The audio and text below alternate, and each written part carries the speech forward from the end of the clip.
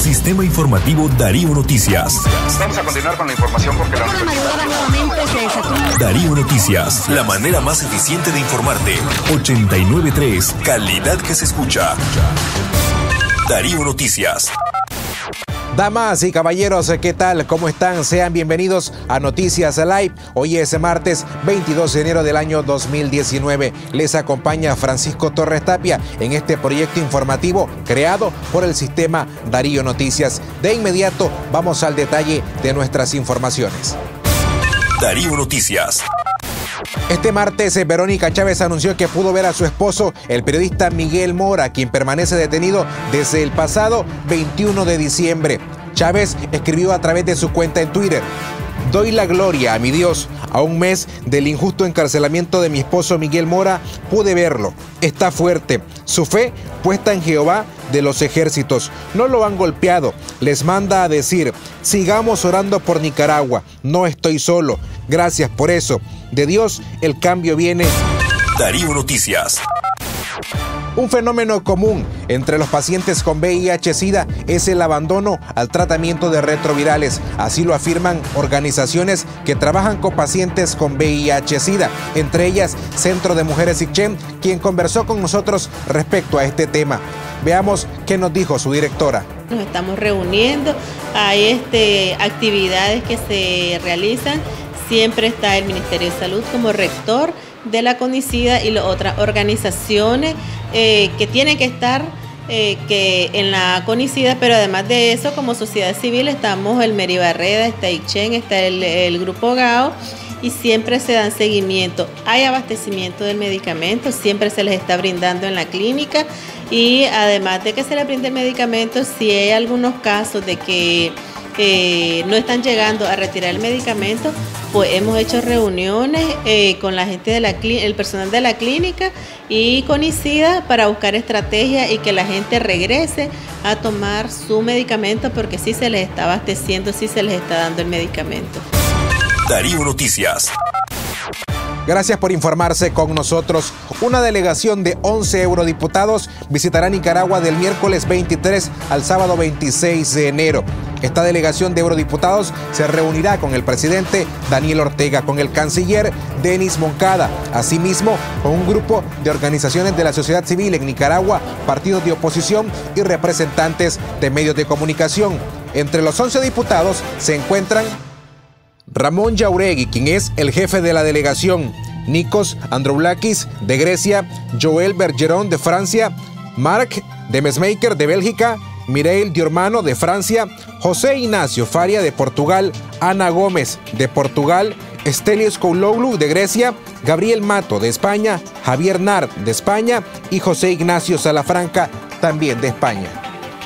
Los eurodiputados harán una rueda de prensa al término de su visita el próximo sábado 26 de enero a las 12 y 30 del mediodía, hora de Nicaragua, en un hotel de la ciudad capital. Darío Noticias.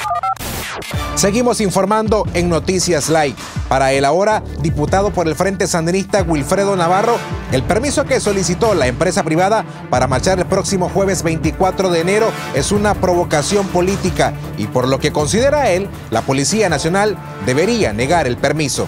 Veamos las declaraciones prohíbe que los ONG se involucren en política. Esta es una violación a la ley, lo que está haciendo el COSEP, y es una provocación política porque ellos se han transformado en un ente político partidario. Y definitivamente yo creo que la policía no les va a dar la autorización porque no tienen esa facultad para hacerlo, ni tienen ellos el derecho para demandarlo porque no son sujetos políticos. En el caso de las personas naturales pueden manifestarse sin debido permiso.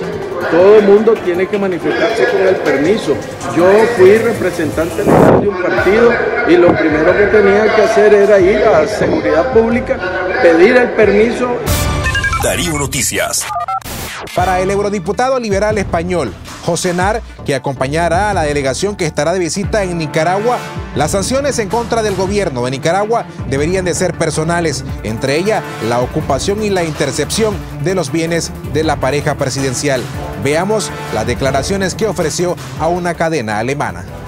Yo sinceramente creo que las condenas son tan importantes, pero relativamente eficaces. Estamos ante una oligarquía corrupta que en nombre de una revolución traicionada está defendiendo intereses materiales que es el negocio, el negocio del poder y el negocio del dinero. Eh, la pareja absolutamente despreciable Ortega-Doña Rosario es eh, el epígono de la oligarquía pseudo-revolucionaria absolutamente depredadora de un país mártir. Usted decía que pueden ser eh, sanciones o una, una, condena puede ser efectiva, pero por ejemplo hemos visto que la presión internacional contra Venezuela no ha surtido mucho efecto. ¿Se prevé quizás por parte del Parlamento Europeo algún otro tipo de medidas, por ejemplo sanciones contra el Ejecutivo nicaragüense?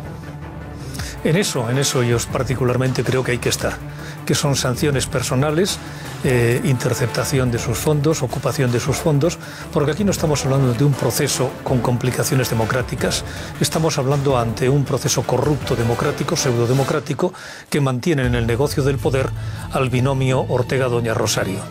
Y en eso hay responsabilidades muy graves, responsabilidades incluso que alcanzan a la Iglesia Católica, donde el cardenal Obando fue uno de los artífices también de este maridaje del poder con el dinero que llega hasta hoy. Daniel Ortega dice estar dispuesto al diálogo, pero la represión no cesa en Nicaragua y sigue acallando las voces críticas. Usted, que vivió en primera persona la revolución sandinista y conoció a Daniel Ortega, ¿piensa que a estas alturas el diálogo puede dar frutos o la solución a la violencia pasa únicamente por la salida de Daniel Ortega? Mire, yo no me jugué la vida para colocar a mis amigos en el poder, sino para abrir un espacio de libertad, aquel espacio donde el pueblo sandinista, el pueblo nicaragüense, de una manera heroica, luchó y entendió que ese era su camino de libertad. El problema fundamental está en que el país está controlado por esta oligarquía, Pretender que va a haber una salida democrática es pensar demasiado, porque el problema es que en el momento en que se produzca un hecho democrático, lo primero que va a producirse es la exigencia de responsabilidades por corrupción a la familia Ortega Doña Rosario. Y eso realmente es algo que es insoportable, inaceptable para lo que es en este momento el poder. Y hablemos de que el poder es sencillamente el negocio del poder una postura pues muy dura contra Nicaragua por parte del Parlamento Europeo y del señor Javier Nart. Gracias. para mí la libertad es fundamental. Que digo, para mí la libertad es fundamental y el país no es propiedad del que la conquista con las armas y después la mantiene a través de la corrupción. Para eso no vale la pena. Darío Noticias. En notas internacionales, el vicepresidente de los Estados Unidos, Mike Pence, envió un mensaje al pueblo venezolano, reconociendo a la Asamblea Nacional como el único órgano constitucional de ese país y enviando un mensaje de ánimo para todo el pueblo venezolano. Veamos. Hola, I'm Mike Pence, the Vice President of the United States. And on behalf of President Donald Trump and all the American people, Let me express the unwavering support of the United States as you, the people of Venezuela, raise your voices in a call for freedom. Nicolas Maduro is a dictator with no legitimate claim to power. He's never won the presidency in a free and fair election, and he's maintained his grip of power by imprisoning anyone who dares to oppose him. The United States joins with all freedom loving nations in recognizing the National Assembly as the last vestige of democracy in your country, for it's the only body elected by you, the people. As such, the United States supports the courageous decision by Juan Guaido, the President of your National Assembly, to assert that body's constitutional powers, declare Maduro a usurper, and call for the establishment of a transitional government. As you make your voices heard tomorrow, on behalf of the American people, we say to all the good people of Venezuela, Estamos con ustedes. We are with you. We stand with you. And we will stay with you until democracy is restored and you reclaim your birthright of libertad. Muchas gracias y vayan con Dios. Darío Noticias. Así llegamos al final de esta edición de Noticias Live, agradeciéndole por el tiempo prestado a este proyecto informativo. Nuestra invitación es como siempre a que nos acompañen el día de mañana miércoles y de igual forma a que le den me gusta, a que comenten y a que compartan nuestra transmisión en vivo. Todas nuestras producciones periodísticas esperan por usted.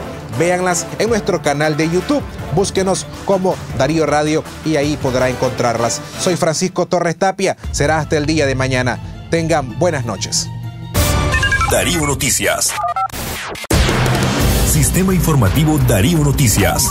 Vamos a continuar con la información porque la Darío Noticias, la manera más eficiente de informarte. 893, calidad que se escucha. Darío Noticias.